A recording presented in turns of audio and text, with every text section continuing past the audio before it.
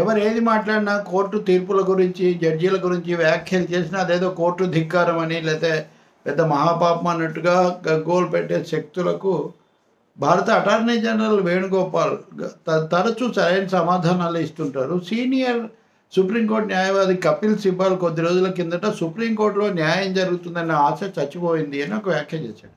Lost all hope that justice will be delivered from సు Supreme Court అని. ఇది నిజంగా అంత సీనియర్ న్యాయవాది అలా అనటం చాలా సంచలనాత్మకమైంది కదా. దానికి ఆయన మూడు కారణాలు చెప్పారు. ఒకటి పెద్ద మూకలు మత మతోన్మాద మూకలు వచ్చి ఎంపీ జాఫరీని హత్య చేసిన లేకపోతే మొ- మొత్తంగా చంపేసిన సామూహికంగా ఆ కేసులో సుప్రీంకోర్టు ఇచ్చిన తీర్పు ఆయన భార్య జకియా జాఫ్రీ పిటిషన్ను తోసిపుచ్చుతూ రెండో వైపున తీస్తా శతర్వాద్ లాంటి వాళ్ళకు దురుద్దేశాలు ఆపాదించిన ఘటన ఒకటి. రెండోది ఈడీ ఎన్ఫోర్స్మెంట్ డైరెక్టరేట్ ఎవరినైనా ఎప్పుడైనా ఎలాంటి పత్రం చూపించకుండా కేసు నమోదు చేయకుండానే అరెస్ట్ చేయొచ్చు. అది పోలీస్ ఫోర్స్ కాదు కాబట్టి అని చెప్పటం.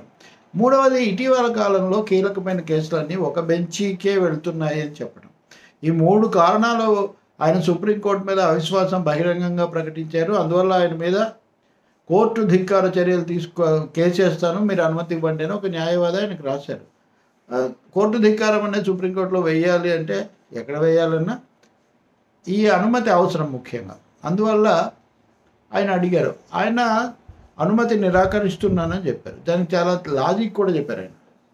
సుప్రీంకోర్టులో న్యాయమే దొరుకుతుందని ఆశపోయిందంటే దాని అర్థం సుప్రీంకోర్టు ఉత్తర్వులు ఇచ్చిన తర్వాత కూడా అవి అమలు జరుగుతాయన్న గ్యారంటీ ఏమీ లేదు అని దానికి అర్థము.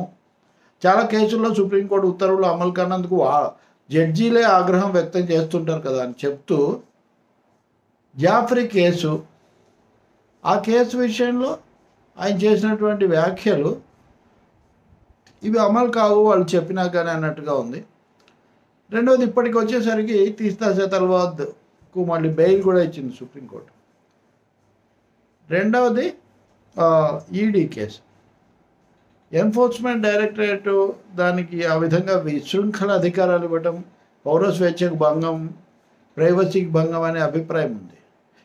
దాన్ని సుప్రీంకోర్టు ఇప్పుడు పునఃసమీక్ష చేపట్టింది కదా. కాబట్టి అటువంటిప్పుడు ఒక న్యాయవాది అంటే ఏముంది? మూడోది ముఖ్యమైనది ఇదే ఆంధ్రప్రదేశ్ ముఖ్యమంత్రి జగన్ హైకోర్టు మీద కూడా అప్పుడు ఆరోపించింది. అన్ని కేసులు ఒకే బెంచ్కి పోతున్నాయి అని కపిల్ సిబాల్ అన్నారు. ఇది తప్ప దీనికి వేణుగోపాల్ సమాధానం ఇచ్చారు. రెండు వేల పద్దెనిమిదిలో సాక్షాత్తు సుప్రీంకోర్టులో సీనియర్లు అయినటువంటి అత్యంత సీనియర్లు అయినటువంటి న్యాయమూర్తులు వాళ్ళలో కొందరు తర్వాత ప్రధాన న్యాయమూర్తి కూడా అయ్యారు. అటువంటి వాళ్ళే బహిరంగంగా అప్పటి సిజిఐ దీపక్ మిశ్రా కేసులు కేటాయిస్తున్న తీరును దా తీవ్రంగా విమర్శించారు. ఈ కేసులు అనేవి ఒక పద్ధతిలో పోతున్నాయి. కింది వాళ్ళకి జూనియర్లకు పోతున్నాయి. సీనియర్లకు రావట్లేదు. ఇట్లాంటి మాటలు వాళ్ళు మాట్లాడారు. మీకు గుర్తుండే ఉంటుంది. మరి సుప్రీంకోర్టులో అత్యంత సీనియర్ న్యాయమూర్తులు ప్రశ్న పిలిచి మరి మూడు సార్లు మూడు ముగ్గురు కలిసి చెప్తే తప్పు కాదు. వాళ్ళకేం మీరేం శిక్ష లేదు కనీసం నోటీస్ కూడా కంటెంప్ట్ నోటీస్ కూడా ఇవ్వలేదు. అది మరి అది రైట్ అయినప్పుడు కపిల్ సిబ్బాలు ఎలా తప్పు అవుతారు? కాబట్టి లిస్టింగ్ ఆఫ్ ది కేసెస్ను విమర్శించే హక్కు కపిల్ సిబల్ లాంటి వాళ్ళకు ఉంటుంది. కాబట్టి ఆ కారణంగా కూడా ఈ కోర్టు ధిక్కారం అనేది ఆయనకు వర్తించదు. కనుక నేను మీకు అనుమతి ఇవ్వటం లేదు అని ఆయన లేఖ రాశారు. సో దీని నుంచి కోర్టుల విమర్శకులు కోర్టులను పేరుతో రాజకీయాలు సాగించే వాళ్ళు మూడవది ప్రతిదానికి మండిపడే న్యాయమూర్తులు కూడా గుణపాఠాలు నేర్చుకోవచ్చు.